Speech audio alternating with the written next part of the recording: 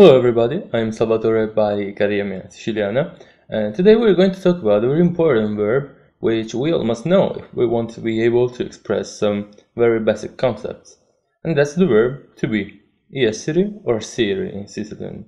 So let's conjugate it first and then let's give a look to some peculiarities of it. Sugnu, si, è, siamo, siete, sugnu. Again, sugnu, si, è, siamo, siete, sunnu.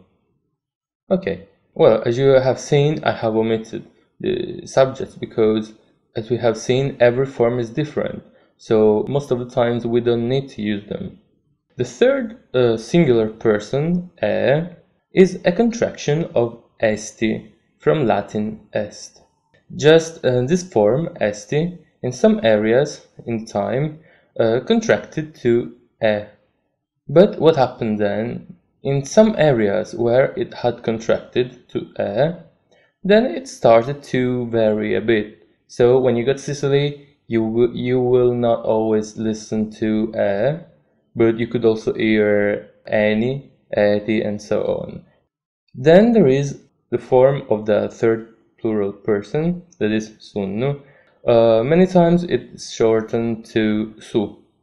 And then I wanted to, to, say something about the first plural person, that is siemu. Okay, well, I'm from Palermo, okay, and I say siemu. In other areas of Sicily, you will hear semu or simu.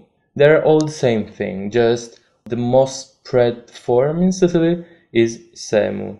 Just I'm from Palermo and every e in Palermo is pronounced like ie. So I don't say semu, but I say siemu, but that's the same thing. And then in some areas of the east part of Sicily, an example in Calabria, they say simu, that is a more regular form according to the conjugation the verb to be should belong. That's all for this time and I will see you in the next video. Goodbye!